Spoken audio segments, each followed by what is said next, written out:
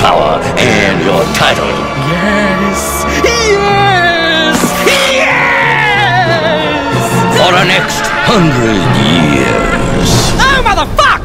Seriously? you will have to live amongst the citizens of hell and revel in your failings. But what about my daughter? She'll be safe and sound. With her mother, the wholesome parent. I guess that settles it. Court adjourned, time for lunch. Yeah,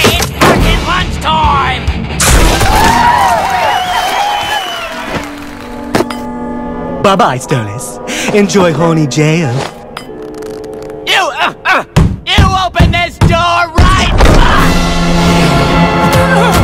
Stolas? What happened in there? I have been banished. You suck, Stolas! Hey, fuck off, fucko! No, it's fine, Blitz.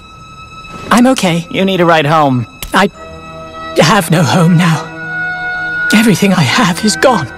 Look, come with me, alright? Let's get you out of here. You'll need a place to stay.